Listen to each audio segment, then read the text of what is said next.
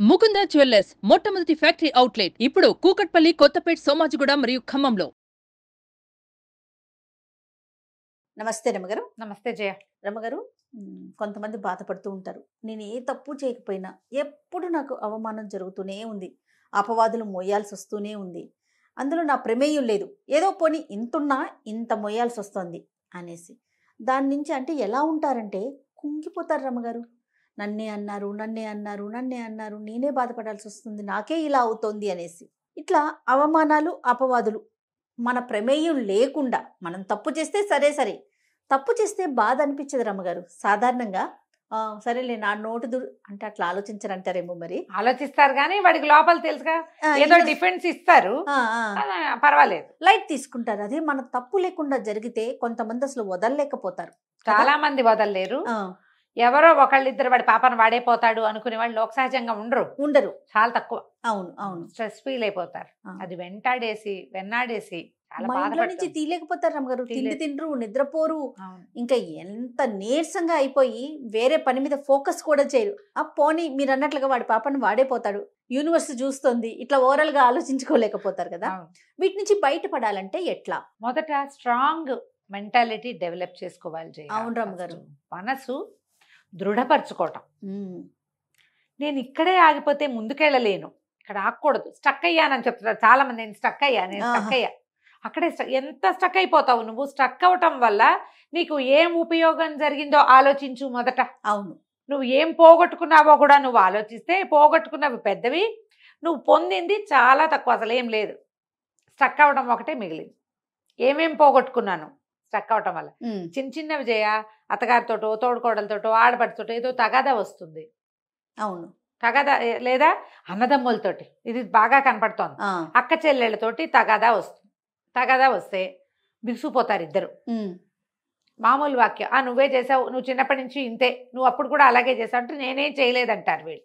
నేనేం చేయలే అప్పుడు అలా జరిగిందంటే రెండో వాళ్ళు దాన్ని ఒప్పుకోరు. వాళ్ళేమో ఇదే ఏదో చేసేసిందని వాళ్ళు నమ్ముతారు. నన్ను అన్నారో అని వీళ్ళు గింజుకుంటారు. ఇద్దరు బిగుస్తారు. క్రమంగా మాటలు మానేస్తారు. ఎక్కడైనా కనపడినా ఏదో తూ- తూష్ణీభావం వహిస్తూ ఉంటారు. అంతే.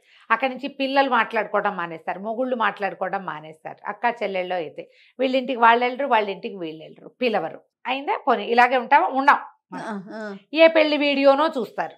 లేదా ఎవరైనా కనపడి మీ అక్క బాగుంది? అబ్బా నీ పెళ్ళికి ఎంత బాగా చేసిందే? నీ డ్రెస్ నీ చీరకి ఎంత బాగా వర్క్ చేసిందే? మీ అక్క చిన్నప్పుడు నేను ఎత్తుకుని తిరిగేది? ఇలాంటివేవో వాక్యాలు వినపడతాయి. గింజుకుపోతూ ఉంటారు లోపల. అక్క కావాలనిపిస్తుంది. అడగటానికి మళ్ళీ బాధ.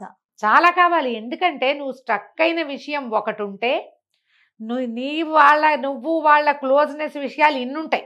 మన పెళ్ళిళ్ళ వీడియోలు పాతవి ఇట్లా స్ట్రక్ అయిన వాళ్ళంతా మీ వీడియోలు చూసి తీసు తీసి చూసుకోండి ఒకసారి. నాకు మీరు ఈ మాట చెప్తుంటే నాకు బలగం సినిమా గుర్తొచ్చింది రమ్మగారు. గుర్తుందా మూవీలో? వాళ్ళ మేనత్త ఆవిడ గుర్తు చేస్తుంది చిన్నప్పుడు. ఎంత బాగా చూసుకున్నారు. నిన్ను మీ అన్నలు ఎలా చూసుకున్నారు. నువ్వేం చేస్తే వాళ్ళు ఏం చేస్తారు? అనగానే వాళ్ళకి ఒకరికొకరు క్యారెక్టర్స్కి కళ్ళల్లో నుంచి నీళ్ళు ఇప్పుడు చెప్తుంటే నాకు కూడా అలాగే అనిపిస్తుంది. ఎంత నాస్టాలజిక్గా ఉంటుందో.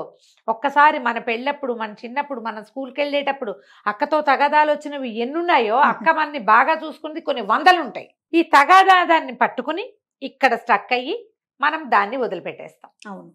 ముందుకు వెళ్ళలేకపోతాం అవునండి. వెనక్కి వెళ్ళండి వెనక్కి వెళ్ళమంటారు. వెనక్కి వెళ్ళండి. వెళ్ళి వాళ్ళతోటి మనకున్న ఇవి అన్ని జ్ఞాపకాలు వాళ్ళతో మనకున్న అనుబంధం వాళ్ళు మనకి ఏ ఏ విషయాల్లో సహాయం చేశారంటే బెస్ట్ పార్ట్ ఆలోచించండి. వర్స్ట్ పార్ట్ వదిలిపెట్టాలి. అక్కడే కదా మనం స్టక్ అయ్యాము. ఫస్ట్ పార్ట్ ఎన్ని ఉంటాయి రమ్మగారు? తక్కువ ఉంటాయి. ఉంటాయి. తక్కువ ఉంటే ఇప్పుడు మనం ఎక్కడ స్టక్ అవుతాం? వర్స్ట్ పార్ట్లోనే అక్కడే. ఆగిపోతాం. అక్కడ ఆగిపోతాం. ఎక్కడో ఒక దౌర్భాగ్య క్షణంలో మనకి వాళ్ళకి తగాదా వస్తుంది. అంతే. వాళ్ళకి మంచిది కాదు మనకి మంచిది కాదమ్మా.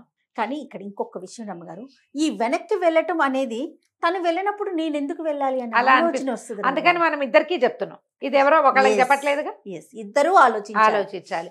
ఒకవేళ వీళ్ళకి సయోధ్య కుదర్చాలని ఎవరైనా భావిస్తే వాళ్ళు ఈ ఈ వెనకాల విషయాలు ఇద్దరికి గుర్తు చేస్తే ఆటోమేటిక్గా సర్దుకుంటుందమ్మా. ఇందులో పెద్ద పెద్ద తీవ్రమైనవి వ్యవహారాలంటే ఏదైనా ఎక్స్ట్రా మ్యారిటల్ ఎఫైర్స్ ఆస్తి పంపకాలు అక్కడ కొంచెం కష్టమమ్మా.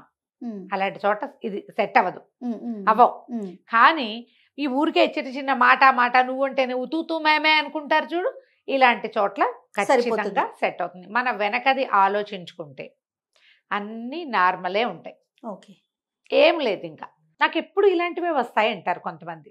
ఆఫీసుల్లో ఇంతే చుట్టుపక్కల వాళ్ళతో ఇంతే ఇంట్లో ఇంతే అత్తగారింట్లో అంతే పుట్టింట్లో అంతే కజిన్స్తో అంతే. చిన్న చిన్న వాటికి నేను మాట పడిపోతున్నాను. అసలు సంబంధం లేకపోయినా నేను మాట నాకు మాట వస్తుంది. చిన్న మాటలు పెద్ద మాటలు నేను తీసుకోలేకపోతున్నా. అయితే దీనికి దైవారాధన ఒకటి మంచి పద్ధతి అమ్మ. ఇందులో ఈ దైవాలలో ఇద్దరు దైవాలని మనం ప్రార్థించవచ్చు.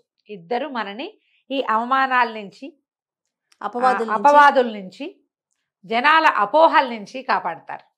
ఓ! ఎవరై ఉంటారు? పరమశివుడా? ఇంకా ఫోర్ ఆప్షన్స్ ఇస్తాను జయ నీకు. నాకా? నాకు తెలిసిన దేవుడేనా? నీకు తెలిసిన దేవుడే. దేవుడా? క్షమించు. విష్ణువు? శివుడు? అంటే ఉన్న దేవుళ్ళందరినీ చెప్పేస్తారు చెప్పే నీ ఇష్టం. ఆంజనేయ స్వామి రమ్మగారు వినాయకుడు. ఇప్పుడు కరెక్ట్. ఓకే. మొదటిది వినాయకుడు రెండో వాడు కృష్ణుడు. వీళ్ళిద్దరు రెండు కరెక్ట్ కదా. విష్ణు అంటే కృష్ణుడు. విష్ణు అంటే కృష్ణుడు కాదు. విష్ణు అంటే విష్ణువే. అలా ఒప్పుకో. వీళ్ళి వీళ్ళిద్దరూ మనని అవమానాల నుంచి అపవాదుల నుంచి. ఈ కుంగిపోయే పరిస్థితుల నుంచి కాపాడతారు. వినాయక సంబంధమైన ఒక శ్లోకాన్ని స్తోత్రాన్ని శ్లోకం చిన్నది కదా స్తోత్రాన్ని అలవాటు చేసుకోండి నిత్యం. ఓ. నా తప్పు లేకుండా నా మీదకి ఏ మాట రానివద్దు తండ్రి నాతో ఉండు అని దండం పెట్టుకోండి. మీరు రోజు వినాయక స్తోత్రం చదువుకుంటే అంత బెల్లం ముక్క. బెల్లం ఇట్లా చెక్క బెల్లం దొరుకుతుంది ఊరుకుపల్లి బెల్లం అంటారు. ఒక కేజీ తెచ్చి దాన్ని చిన్న సాధనం పెట్టి కొట్టి చిట్టి చిట్టి ముక్కలు కట్ చేసి పెట్టేసుకోండి ఒక డబ్బాలో పోసుకోండి. రోజు వినాయకుడికి బెల్లం ముక్క చూపించండి. బెల్లం ముక్కకి మడి మశానం ఏమీ లేవమ్మా. ఏ అంటూ ఉండదు. ఒకవేళ ఈ బె- రోజు బెల్లం ఎవరు తింటారండి అంటే నైవేద్యం పెట్టిన బెల్లం ముక్కలు నా ప్లాన్ అనమాట ఇది నేను చేసేది. నైవేద్యం పెట్టిన బెల్లం ముక్కలన్నీ ఒక డబ్బాలో వేసుకోండి. ఏ టీలోనో కాఫీలోనో వేసేసుకోండి. పాయసాల్లో ప్రసాదాల్లో పనికిరాదు. టీలో బెల్లం వేసుకోండి చాలా బాగుంటుంది. బ్లాక్ కాఫీలో బెల్లము బాగుంటుంది. కషాయంలో బెల్లము బాగుంటుంది. అసలు మీరు ఏం చెప్పదలుచుకున్నారు రమ్మగారు కాబట్టి బెల్లం ఎలాగా అన్న అనుమానం మీకు లేకుండా చెప్తున్నాను నెక్స్ట్ ప్రశ్న అదే ఉంటది. ముందే చెప్పేసి సరే. వినాయకుడికి ఏం చదువుకోవాలి? వినాయకుడికి మనము తెలుగు పద్యాలు దొరుకుతాయి. అవి చదువుకోవచ్చు. తర్వాత ఏమో ద్వాదశ నామావళి ఒకటి ఉంటుంది. వినాయకుడిది. షోడశ నామావళి ఒకటి ఉంది. ఈ రెండు స్తోత్రాల్లో ఏదైనా తీసుకోండి. ఓకే. సుముఖశ్చేకదంతశ్చ కపిలో గజకర్ణిక ఇలా మొదలయ్యేది ఒకటి. ప్రణమ్య శిరసాదేవం గౌరీపుత్రం వినాయకం భక్తావాసం స్మరే నిత్యం ఆయుక్కామార్థ సిద్ధయే. ఇది ఒకటి శ్లో స్తోత్రం. ఈ స్తోత్ర నిధి యాప్లో రెండు దొరుకుతాయమ్మా. వినాయక స్తోత్రాలు ఓపెన్ చేసి చూసుకోండి. స్తోత్ర నిధి పెట్టుకోండి ఫోన్లో. ఎక్కువ స్పేస్ ఏం తీసుకోవద్దు. తక్కువ స్పేస్ ఏం తీసుకుంటుంది. మీరు చాలా స్తోత్రాలు అందులో దొరుకుతాయి. తప్పులు కూడా లేవు. ఓకే. ఈ వినాయక స్తోత్రాల్లో ఒకటి రోజు పెట్ చదువుకోండి. ఎంతోసేపు పట్టదమ్మా? రెండు నిమిషాలు. నోటికి వచ్చేసింది అనుకోండి మరి ఇవి ఇవి రెండింటిని మనము విష్ణు సహస్రనామం చదువుకున్న దాంట్లోనే ప్రణమ్య శిరసా దేవం గౌరీపుత్రం వినాయకం భక్తావాసం స్మరే నిత్యం ఆయు కామార్థ సిద్ధయే. ఇంతే. చూడు ఎంత బాగుందో. అదే ఫ్లో. ఇదే ఫ్లోలో చదువుకోవచ్చు. ఈ ఫ్లోలో మిగిలిన అన్ని పదాలని అందులో పెద్ద పెద్ద సమాసాలు అవి లేవు. ఇంత ఇంత కూడా మా వల్ల కాదండి. నేను చేయలేను ఇంత. ఇంకా ఈజీ చెప్పండి అంటే రోజు శుక్లాంబరధరము అగజానన పద్మార్కము చదువుకోండి. ఈ రెండు అందరికీ వస్తాయి కదా పిల్లలకి మనం మొదట నేర్పించేదే అవును. వినాయక స్తుతి ఈ రెండు శ్లోకాలు పెట్టుకోండి. బెల్లం ముక్క కామన్ దేనికైనా. ఒక దీపం పెట్టడం ఒక అగరబత్తి వెలిగించడం. చదువుకోండి. మీరు ఏం చదువుకుంటారో అన్నీ చదువుకోండి. ఏమి చదువుకో ఇది ఒకటే చదువుకోండి. మీ ఇష్టం. ఓ. దీని తర్వాత వాడు కృష్ణుడికి సంబంధించిన ఏదైనా ఒక స్తోత్రం తీసుకోండి. మా భాగవతంలో ధ్రువుడికి నారదుడు ఉపదేశించినది ఓం నమో భగవతే వాసుదేవాయ. కనపడుతుంది క్లియర్గా. ఎవరైనా పురోహితుడు మన ఇంటికి వచ్చే వాళ్ళు ఉంటే వాసుదేవ మంత్రం ఉపదేశించండి గురుగారు అని ఉపదేశం పుచ్చుకోవచ్చు. లేరు. మనమే ఓం నమో భగవతే వాసుదేవాయ చెప్పుకోవచ్చు. రమ్మగారు ఎప్పుడు నేను ఒకటి ఈ విషయం అడుగుదాం అనుకుంటున్నాను. మనం చదువుకునే దానికి అదే మంత్రం గురువు ఉపదేశించిన దానికి తేడా ఏముంటుందండి? చాలా ఉంటుంది ఒక గురువు దగ్గర నేను ఉపదేశం తీసుకున్నాను ఈ మంత్రం అని ఉపదేశం. తీసుకుంటే ఉపదేశం వల్ల ఏమవుతుంది? గురు ఉపదేశం వల్ల సరైన దారిలో నడుస్తాం మొదటిది. ఏం చేయాలి? ఏం చేయకూడదు అనే క్లారిటీ ఉంటుంది రెండోది. మూడోది నువ్వేదైనా పొరపాటు చేస్తే నిన్ను దిద్దుతాడు గురువు. నీవేదైనా తప్పు చేస్తే నీకు ఉపదేశించిన గురువుదే ఆ తప్పు కానీ నీ తప్పు కాదు. నువ్వు తప్పు చదువుతుంటే నీ కరెక్టే నీ వరకు.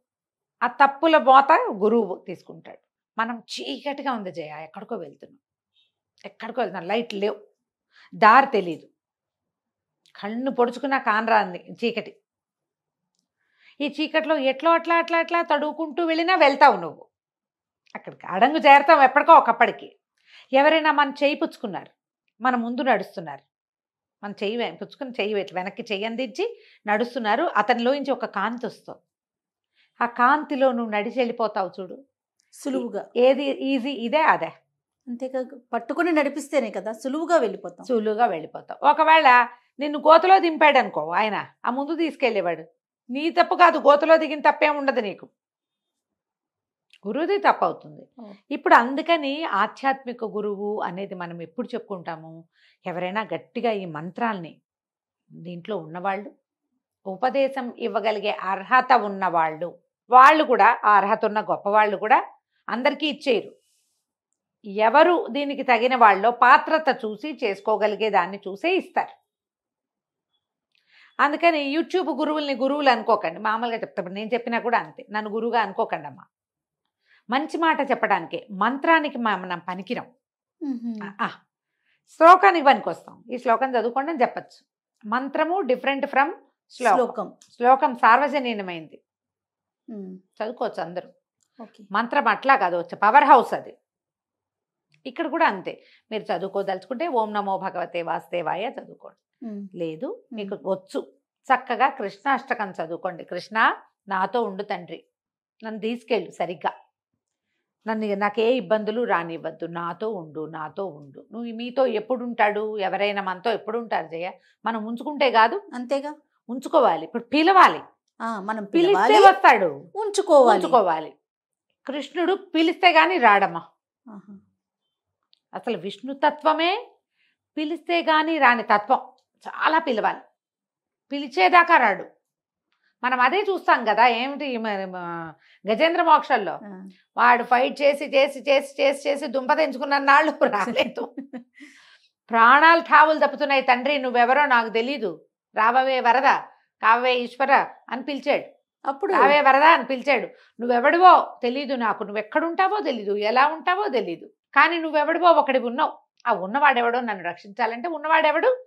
జగన్నియామకుడైన విష్ణువు పరిగెత్తుకుంటూ వచ్చాడు పిలిస్తే వస్తాడమ్మా. కృష్ణుణ్ణి పిలిచేదాకా రాడు. చూస్తూ ఉంటాడు మనకేసి. నువ్వు భగవంతుడి వైపు ఎప్పుడు చేయి చాపుతాం జయ మనం? చేత కానప్పుడు చేయి చాపాలమ్మా. చేత కానప్పుడు చేయి చాపాలి రోజు ఆయన్ని మనతో ఉంచుకోవాలి. ఉంచుకోవటం వేరు చేయి చాపటం వేరు. అవునండి. దేవుడా నన్ను రక్షించు. రోజు నువ్వు భగవంతుడా మమ్మల్ని పుట్టించావు నిన్ను నేను అర్చిస్తానని అర్చన. కృష్ణాష్టకం చదువుకోండి.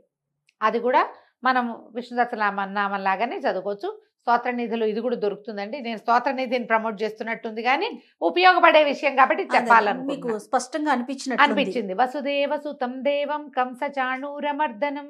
దేవకీ పరమానందం కృష్ణం వందే జగద్గురుం. చూడు కృష్ణ ఎంత సింపుల్గా ఉంది. సింపుల్ పదాలతోటి తేలికపాటి స్తోత్రం ఎనిమిది శ్లోకాలు ఒక ఫలశ్రుతి శ్లోకం తొమ్మిదే శ్లోకాలు. రెండు నిమిషాల్లో అయిపోతుంది. ఓకే. కాబట్టి ఇది చదువుకోండి. మిమ్మల్ని వినాయకుడు కానీ కృష్ణుడు కానీ ఇద్దరిని చదువుకుంటామంటే ఇద్దరిని మహదానందంగా చదువుకోండమ్మా. మీరు రోజువారీ ఏ నివేదన పెడుతున్నారో కృష్ణుడికి అదే నివేదన పెట్టచ్చు. వినాయకుడికి మాత్రం బెల్లం పెట్టాలి. దీనివల్ల మీకు అపవాదులు అపనిందలు అవమానాలు చిన్న చిన్న వాటికి చిన్నబుచ్చేసుకోవాల్సిన పరిస్థితి దాని నుంచి కొంత మీరు తప్పుకుంటారు. దీంతో పాటు మీరు మానవ ప్రయత్నంగా జాగ్రత్తగా ఉండండి. ప్రతి దాని నుంచి మనం ఒక పాఠం నేర్చుకుంటూ ఉండాలి. జీవితంలో ఏమవుతుంది? ఓ దెబ్బ తగిలితే ఓహో ఇక్కడ కాలు వేయకూడదు ఇక్కడ ముందుకు వెళ్ళకూడదు ఇక్కడ గడప ఉంది ఇక్కడ గట్టు ఉంది తెలుసుకుంటాం కదా. తెలుసుకోండి. తెలుసుకునే ప్రయత్నం చేస్తూ భగవంతుడిని తోడు తీసుకుని ముందుకెళ్ళండి. ఈజీగా ఉంటుంది అప్పుడు తప్పకుండా రమ్మగారు నమస్తే. నమస్తే జయ